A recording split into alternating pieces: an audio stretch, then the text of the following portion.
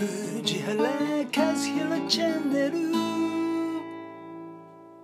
はい、おはようございます。目覚まし朝礼の時間です。今日は花丸学習会の高浜代表をお招きしています。高浜さん、おはようございます。おはようございます。あのですね、えーはい花丸学習会と聞いてですね、もし教育会の人でこれ知らないっていう人がいたら、これはもぐりですわ。もう絶対知らなきゃいけない必須アイテム というふうに言っておきたいと思いますし、えー1959年、えー熊本生まれでですね、えー僕は、まあ、教育会のさだまさしですね。で、えーもうご覧になっていただければ分かりますように、熊本生まれですから分かりますよね、皆さんね。はい、教育会のくまモンでございます。というこんにちは。ことで、はいお願いします。えー幼児教育からスタートされまして、今もちろん受験もやってらっしゃるんですけども、幼児教育に、まあ、本当にあの、ミニ世の中化というか、幼児版世の中化のような手法を取り入れられて、はい。はい。すごい速いテンポでいろんなあのワークをさせることで、もう頭の回転が良くなるし、頭が柔らかくなるというですね、えーしかもですね、飯を食飯が食える大人になるというですね、うん。飯が食える大人にするんだっていう、まあ、飯が食えるとか稼げる大人作りっていう、なんかその教育界ではそれまで幼児教育って、なんかその創造性とかですね、クリエイティブみたいなことをはいこう、そういう柔らかい耳障りのいいことを言ってたんですが、もう高間さんがズバッと稼げる大人なんだと。はい、えーね、飯を食える大人なんだみたはいいな感じで、最近あの出した本にですね、飯の食える大人になる世の中ルールブックっていうなんかあの僕の本じゃないかと見守るような、そうですよ。はい。世の中も明らかに藤原先生のあの影響を多大に受けておりますので。いえいえいえ、はい。ということで、はい。えーこれからちょっとね、その高間さんの素顔にこう迫っていきたいわけですが、はい。ちょっと言っときますけどね、あ、出た。これですよ。出た今日はもうこれで登場ですよ、ちょっと。これいいや。え？これはあの高間さんのあの長男がですね、そうです。えーね重度の障害で、そう障害でいらっしゃるんですけども、はいあのそのアート作品を見事に、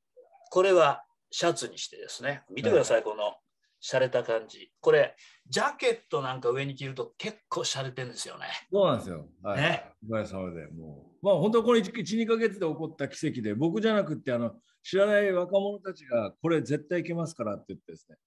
もうムーブメントになっちゃって、もう、まあまあ、来年ちょっとした話題になると思います。今動いてるんで、はい。まあ、最後にもちょっと触れていただきますけれども、ジョー君、えーがですね、はいえーまあ、デザイナーとコラボした、はい。えーこのおネノッ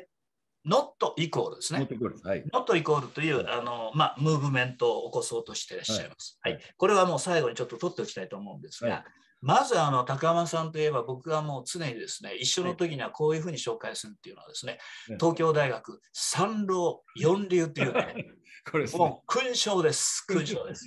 でまあ三浪はともかくですねこの四流については素晴らしいそのお物語がありましてまあ1年ごとにですね留学していらっしゃいました。はい。えまあ、ハーバード、MIT というね、オックスフォード、ケンブリッジだと、これはこれですごいんですけど、もっとすごいんですね。これ麻雀、パチンコ、競馬、競輪とですね、1年間でだいたい全てマスターまで、えーレベルまで行かれましてですね、えーまあ、競馬は今もやってらっしゃるようですけども、すごいですよね。えーもうとにかく頭を使いまくってですね、それぞれのこう遊びのマスターにもなると。ああ、そうですね。遊びは違うですね。はい。そうだよね。はい。そして、まあ、大学時代はそんなことだったんですけども、その後予備校のあの講師にまず一時なられます。はい。で、これ、もし予備校の講師としてそのままやられてたら、多分林修さんを超えるぐらいのあのそういう人気講師になったことは間違いないんです。あの今日はね、こうこういうあの掛け合いなんですけども、僕と高間さんが生で出ますと、ほぼそのまま漫才になっちゃうというですね、そういう感じになるんですが、はい。このね、あの予備校の講師でやった時に何かこう気づきがあって、そこでもうこれは、えー大学生とかあの高校生やっててもダメだと、幼児教育行かないと日本は変わらないっていうふうに、あのね。もう一年発起したらしいんですけどもな、なんでそんなふうに思ったんですか？それはですね、えっと、まあ今、どんどん、まあ、オミクロンじゃないけど、どんどん渋滞化してると思うんですけど、やっぱりめ生命力みたいなものが、どんどんどんどんこう沈下してるっていうか、うん。全体として。うん。やっぱりその坂本龍馬みたいな時代が、おらーみたいなね、短い人生だろうから突き進むぞみたいなのからもうよしよし守られみたいにどんどんなって少子化でいよいよリスク取らないし喧嘩しないしもうちょっとした膝の怪我でも文句言うみたいな、うん、どんどんそういう過保護系になってしまってですねでまあそれ私気づいたのは予備校で、まあ、たまたまあるクラスがごっそりその飯食えなそうな男の子たちですよね。でかわいそうなごっそり。ごっそり。いやでもうなんつうか自信もないし言われたことは右向けって右って向くんだけどいやそもそもなんでそんな向かなきゃいけないんですかっていうこう問題意識も持てないっていうか、うん、自分で考えてないしここが一番大きいんですけど。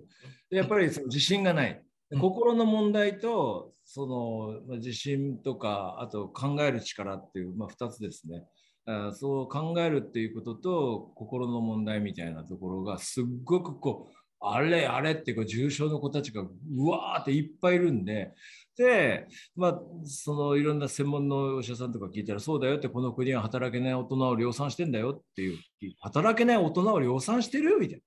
意味わかんないんだけどって言ったら本当にその通りでね、今何十万何百万っていう。で、そのデータ出たのだいぶ後ですけど、それは大問題でしょう。なんとか中学合格をゴールで塾やってたってね、その後飯食えなくなったら意味ないじゃんって簡単にもこの話ですね。だから根本的なそういう能力がやっぱり上の学年でどんなに手を尽くしてもやっぱり根っこのあの何でも自分でやってみたいとか自分で決めたいとか自分でやり通したいとか集中するとかこういう力を伸ばしとかないとあのダメでしょっていうので幼児期が勝負だなって僕は実は全学年教えた上でどうも23年生のあたりでこう境界があってですね、まあ、4年っていうか5年からだともう大人側と同じような構造でちっちゃい時ってねなんか今へこんでてももうポコーンって戻るみたいな、まあ、今泣いててももう早く先生さみたいなね、うん、すごい柔軟性がある時期なんですよね。だからこの時期だなっていうので、この時期までに、えー、この子の自信とか集中力をやらなきゃいけないっていうことと、でそれが野外体験が一番大事だっていうことと、それから親を変えないとみたいなことが大体3つ出てきてはい、それですね、そのテーマはちょっとね、後に取っておきたいんです。すごく大事なところなんですね。はい、で、あの、それを一年発起した、まあ、あ高山さんが花丸学習会を起こすわけですけども、最初は、あの、まあ、えー、幼稚園のね、幼稚園の放課後を使うんですよね。で、その幼稚園で当然その幼稚園生を介した後、はい、あの開くわけですけども、はい、そこでやればあの一石二鳥じゃんみたいな感じでですねこれは頭いいなと思うんですけどもそこから起こしてもうあっという間に拡大していくんですがこの時に僕が本当に感銘を受けるのは、はい、あのチラシをまかないというですね,、はいそうですね。はい、口コミだけでいくというですね。そうですね、はい、で実際にもうあの、まあ、今高野さんがおっしゃったようなことにはあの PTA あのお母さんたちは反応するわけでであちこちであの、まあ、小学校の PTA を中心にですねえー、PTA の組織にはあの教育部会っていうのは必ずあって、1年に1回その講演会をやりますみたいなね、はい、先生と一緒にね。で、それで学びますみたいなのがあるんだけど、それでですね、学校の中で、まあ、大概は図書室みたいなところでやるそういう講演会に高山さんが呼ばれるようになる。はい。はい、で高山さんは実は落語のあの研究も相当やった方なんで、これがうまいんですわ。僕も一応講演会数1600回を超えてプロなんですね。はいあるその講演会社によりますと大体もうナンバー3ぐらいになってるんですけどもあの僕がもしかしたら負けるかもしれないなと思う唯一の人はこの高浜さんなんですよ。高浜正信なんですよ。えー、ということであの聞きに行きました僕も。えー、察がてらですね。で、それは、ね、あのなんでかっていうと、実はあの本当の出会いはあ、フジテレビの報道2001でしたよね。そうです、そうです。ね、はい、で、朝の番組に、まあ、教育問題で呼ばれて、はい、あの隣高間さんで僕で、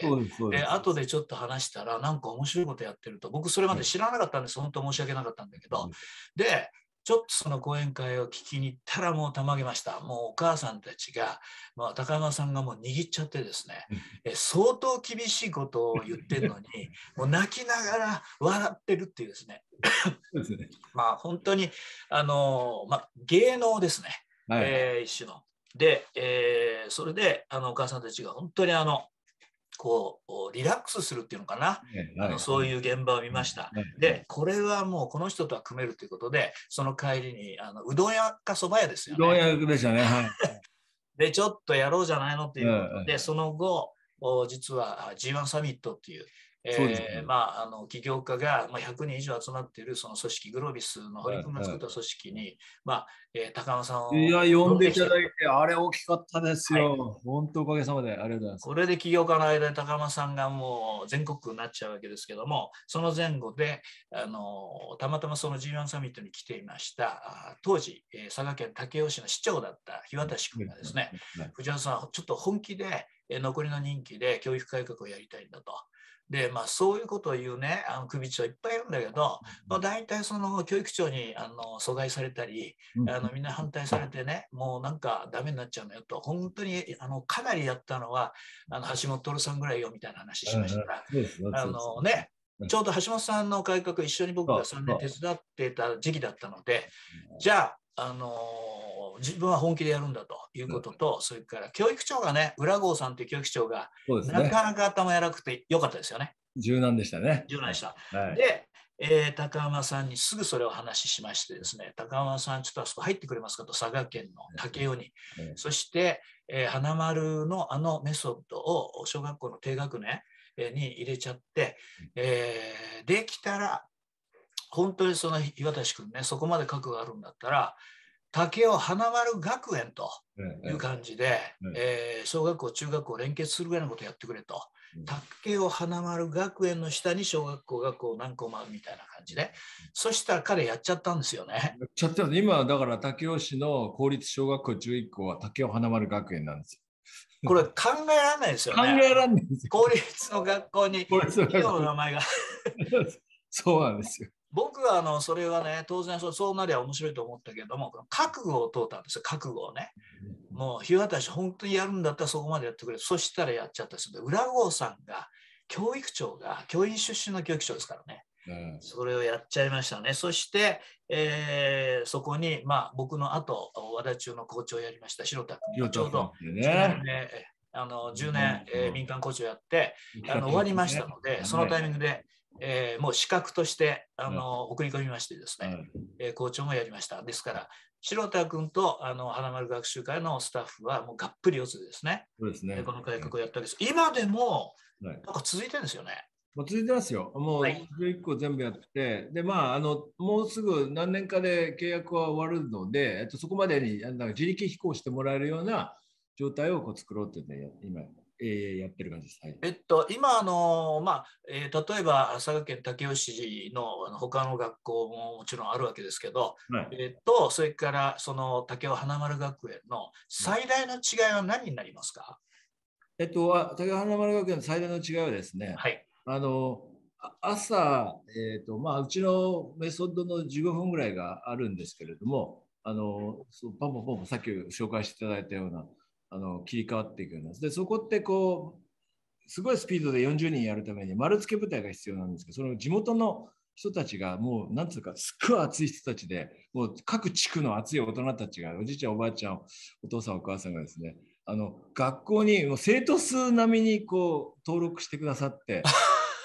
それで丸付けで来てくれて、常に毎日そういう先生あの地元の方が入ってる学校っていうう、わこれがあの児童の数以上に来てるみたいなね。そんな感じですね。だから、はいそれはやっぱりいろんな意味で良かったのは、やっぱ先生もそういうつながりの中で入れると、一まあ、一生懸命、もともと一生懸命でしょうけど、やっぱ張りもあるし、あで地域がつながるんですよね、何よりも。うんうんあの知ってるおばあちゃん、こんにちはって途中で言うおじいちゃん、おばあちゃんの数が圧倒的に増えちゃうっていう。それをあの僕はあの和田中で地域本部っていうのを作って、はいはい部部屋持たせて、で土曜日の土曜寺子屋を中心にやり、後にまあ夜スペとかもやるんですけども、いきなりその授業の一丁目一番地の小学校の授業の中にも地域本部になっちゃってるみたいな感じですね。そうですね。だから内田先生のアイデアもすごく生きたというか、地域本部的思想というか。あの実際にやる内容はちょっとイメージあのできにくい人もいると思うんだけども、100マス計算みたいなのがあったり、それから漢文の素読みたいなのがあったり、ねあとそのね、パターン認識みたいな、こうはいはい影を見せてのパターン認識みたいなのがあって、要するに、とにかくこの脳を鍛えるっていう感じですよね。そうですね。あの地頭みたいなのをこうあ遊びみたいにして鍛える。まあもっと基礎を作るっていうところもあるんですけど、まあ、そんな感じですね。はい。で、えーその高間さんなんですが、あのもう花丸学習会で何をやってるかについては、ちょっとね、ウェブも見ていただくんですけども、その前にあの言っておきますと、例えば、えー数学、算数オリンピックはい。のね、あうんの出題の問題出したり、はいはい評価をしたり、それから囲碁も、まあ、あの英語もね、あのやってらっしゃって、そして、えーアルゴクラブっていうのは、これが、これがいいんです。よアルゴクラブっていうのは、あの、夏オリンピック委員会で、はい、そのピーター・フランクルさんとか、あまあその中のはい。当時、一緒に仲良くみんなでやってた人たち、もう亡くなった天才、長尾健太郎君とかいるんですけど、いろんな人たちとあのオリンピックの事務局で、幼児期に論理思考をすごく伸ばす整数のパズルを作ろうっていうんでやられて、でそれを教室にするにあたっては、高浜君、君がやってよって言われてですね、あのやったやつで、これは実際もうあの卒業生のあの大学進学だけでいうと、すごいとこみんな行ってるんですよね。あ動画ゴールで作ってるつもりじゃないんですけど、でも本当にやっぱり、この間インタビューした子も、あの、あれでしたね、あの、アルゴクラブ系でしたね。あそうなんだ楽しかったって、はい。だから高間さんのことを語るのに、まあ、あの幼児期の脳をね、えー脳を開発するというか脳をこう柔らかく、えー回転速くするっていうことの、まあ、あプロでそれを教室展開されてるっていう理まあ解でいいですよねそうです。一言で言えばそんな感じです。ですね。で、はいそのために脳脳っていうと、なんかあのプリントをたくさんやらせるんですかみたいになっちゃって、そうじゃなくて体を動かして、そうそうですね。ね、みんなで共同的に主体的にやる、かつ野外野外のあのサマーキャンプみたいなものも重視されてると。ちょっとそしたらウェブを見てみたいと思うんですが、はい皆さんお願いします。はい、これなんです。飯が食える大人。ね、これ、標榜します？この教育機関がいきなり。素晴らしい。ちょっと下の方お願いします。で、教室がいっぱい。で、ここにね、あの音楽教室もされてます。はい、やってます。これ大きいですね。はいそれから、あの、花スポっていうね、すあのスポーツもやられてます。はい。はい、えーというようなことで、あの運動とかそういうその実際の動き、あの体を動かしながら脳を鍛えるっていうね、ここが特徴なんですよね。で下の方へずっと行っていただいて、はい、こんな感じですね。はい、イベント、これありますね。野外体験、重視してます。えーということで、アートもやってますね。はい、はいちょっとこれね、ぜひあの皆さん、えーこのおウェブ、ね、見ていただきたいと思うんですけども、あのこのサマーキャンプが非常に特徴的で、これはあの花丸の教室にね、あの属してないとあのいけないっていう形のようですが、一一時期は2万人ぐらいまで行ってましたよね、コロナ前ね。そうですね。前は、まあ、ちょっと数は覚えてないですけど、本当にみんな行ってたんで、コロナがでだあったんですけど、今年はでも、それでも行きたいっていう方もいて、で、5000人ぐらいは連れてきました。いや、すごいね、5000人規模。まあ、いろんなとこでやるんでしょうけど、うんあのまあ、高間さんのコンセプトとしては、できるだけ危ないことやらせんだと。ただし、事故なしだと。まあ、ねなそうです。事故なしなしだけど、事故なしで危ないことやるきっかけみたいな。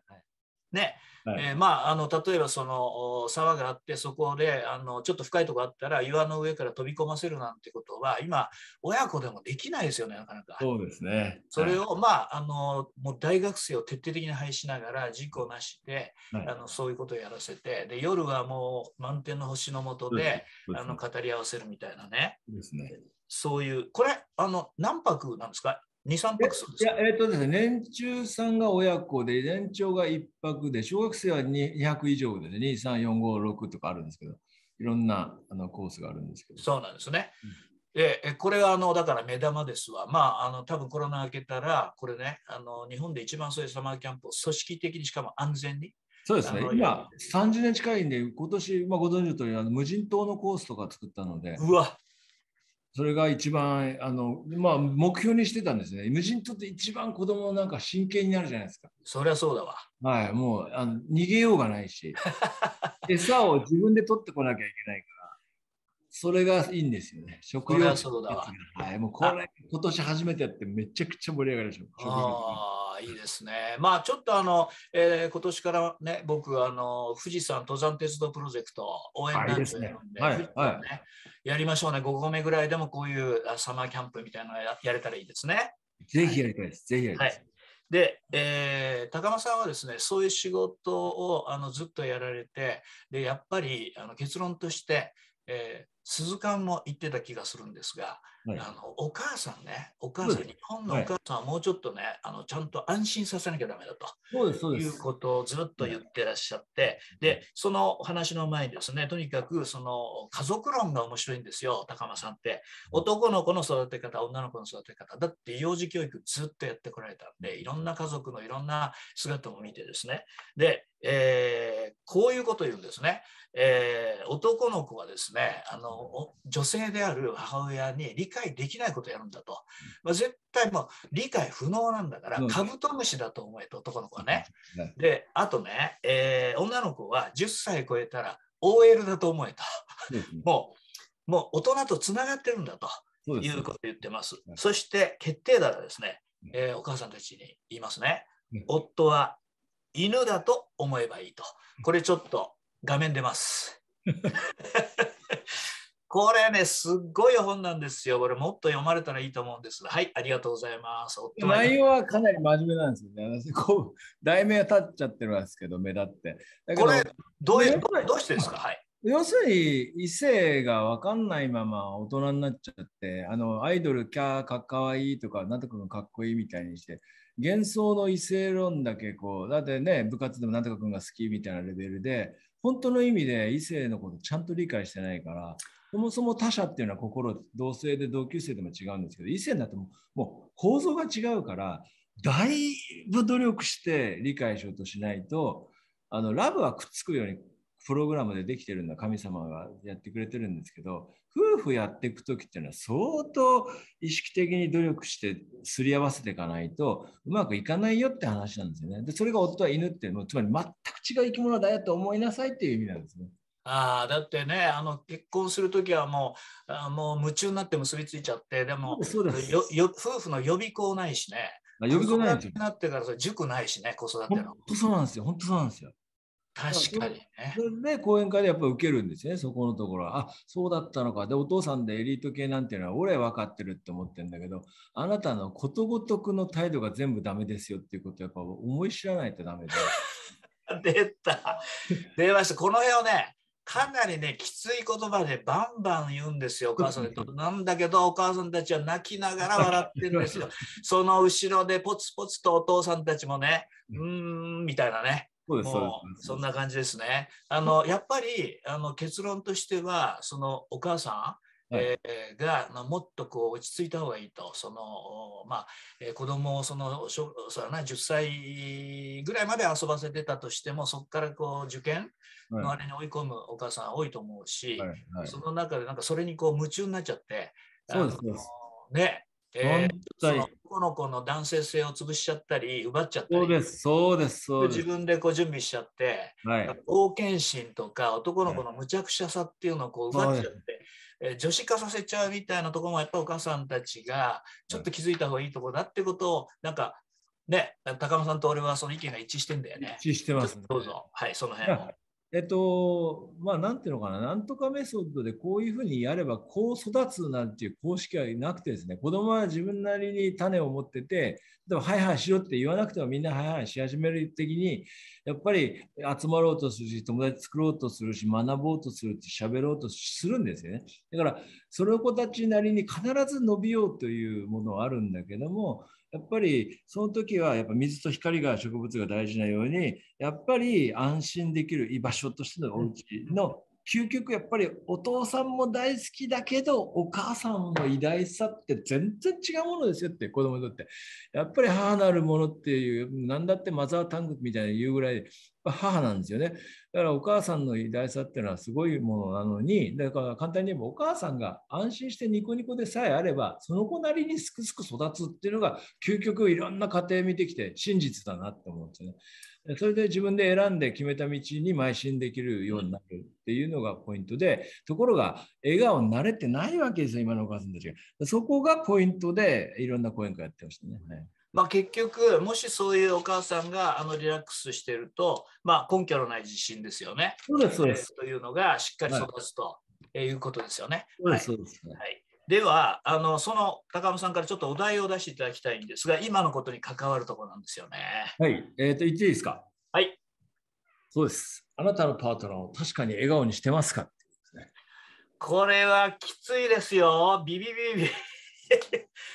あなたのパートナーですね。あのはい、えー旦那だったら奥さんです。奥さんだったら旦那です。旦那ですはいえーそうじゃない、ね、結婚じゃないパートナーかもしれません。うんえー男同士、女同士もいるかもしれませんが、そうです、そうです。確かに笑顔にしてますかですか？これちょっときついよね、結構。だからね、給料がいいとか、いい大きいだとか、そのメジャーラブルなもので、なんか、俺やったって思ってるかもしれないけど、その南半球の家庭っていうところを、子育ての部分もね、ちゃんとやんないといけなくて、で、そこの家庭で笑顔に、たった一人のパートナーを笑顔にしてなかったら、もう、もう負けですけど、人生ぐらい言いたいですね。だからそこ逃げてんですよ、いろんな意味で。だからそそういう意味で、やっぱそこに直面したときに、さっきの話に戻るんですよね。本当の意味で妻を笑顔にするには、どうすりゃいいんだろうっていうのは、もう相当考えていかないと。わかりました。そして最後の最後にね、この、えージョー君のですね、え乗っていこう。ーアートを今、こんな感じでですね、えーシャツにしてデザイナーと組んでですね、そしてこういう not イコールね、うみんな一緒でイコールなんじゃないよというメッセージですか、これは。そうそうですね。あの、まあ、ジョー太郎のジョーの字を崩したっていう意味もあるんですけど、はいあそういうことですあ。みんなそれぞれ違うよって、ここに違うよねって、それぞれの人生だよねみたいな意味です。今ですね、あのアクセスしてくれますと、あの not イコールっていうですね、えーでアクセスしますと、これあの、えーウェブの下にも載せておきたいと思うんですけども、あのこれは通販で買えます。えーということで、えー高間さん、ぜひですね、えー今後もちょっといろんなことでコラボしていきたいと思いますので、よろしくお願いしたいと思いますよろし。くお願いします。はい、では最後、えーこれいきましょうか。はい。君ならできる。